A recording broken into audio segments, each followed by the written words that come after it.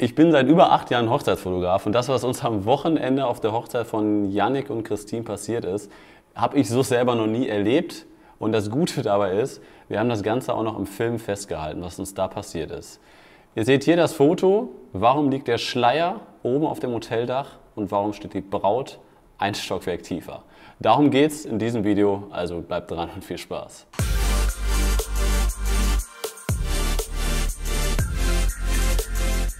Die besten Hochzeitsfotos entstehen eigentlich immer dann und in den Situationen, die nicht geplant sind und die so auch gar nicht passieren sollten. Wir waren am letzten Wochenende mit Yannick und Christine unterwegs auf deren Hochzeit und freien Trauung. Wir sind gestartet bei den Vorbereitungen und hier im Hotel in Münster haben wir Christine mit ihren Trauzeugen begleitet, wie sie ihr Hochzeitskleid anzieht und wie die Mädels zusammen mit ihr anstoßen und wir wollten ganz gerne als Abschlussfoto, bevor wir zur freien Trauung fahren, eine Videosequenz haben für unseren Highlight-Film, damit wir die Mädels nochmal schön anstoßend auf dem Balkon haben. Wir setzen auch viel Drohnen ein und hier seht ihr gerade, wie wir das Ganze äh, mit der Drohne einrichten und die Perspektive einrichten, damit wir ein schönes Abschlussfoto haben und ich mit der Drohne langsam zurückfliegen kann, um dann überzugehen in die freie Trauung. Und es war etwas windiger und was dann passiert ist, habe ich so noch nicht erlebt.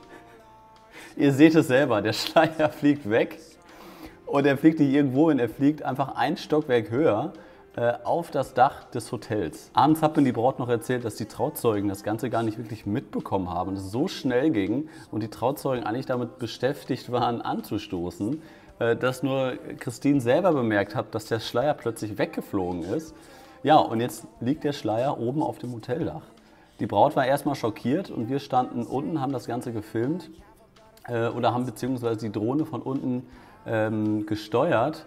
Und jetzt war natürlich die Frage, wie kommen wir an den Schleier ran? Über die Drohne, ihr seht es selber, hatten wir einen sehr, sehr guten Blick darauf, wo der Schleier sich gerade befindet. Das Ganze haben wir dann per Zurufen zum, äh, zur Braut und zu den Brautjungfern äh, gerufen, dass der Schleier eigentlich immer noch an einer Position liegt. Daraufhin hat die Braut äh, kurz an der Rezeption angerufen und äh, die sind auch aus allen Wolken gefallen und hatten so einen Anruf auch noch nicht, dass der Schleier auf dem Hoteldach sich befindet.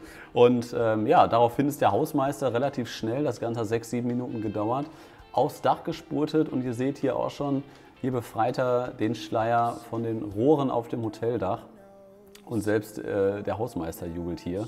Das Ganze hat zum Glück ein glückliches Ende genommen und auch obwohl die Braut kurz schockiert war, ähm, ja, konnte die Hochzeit weiter so stattfinden. Die freie Trauung auf Gut Havichhorst in Münster konnte auch so stattfinden, mit dem Schleier natürlich.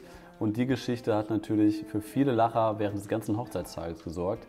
Und das zeigt mir einfach mal wieder, wie toll es ist, Momente festzuhalten, die so gar nicht geplant waren, die so auch gar nicht passieren sollten. Und besonders solche Momente machen so eine Hochzeitsreportage so besonders und ich denke, da erinnert sich das Brautpaar noch in Jahrzehnten dran. Von daher sind wir froh, dass wir das Ganze im richtigen Moment mit unserer Drohne festhalten konnten und wir euch jetzt mal einen Einblick geben konnten in diese kleine Geschichte, was wir ab und zu in unserem Alltag so erleben. Demnächst folgen hier noch ein paar weitere Videos zum Thema Hochzeiten.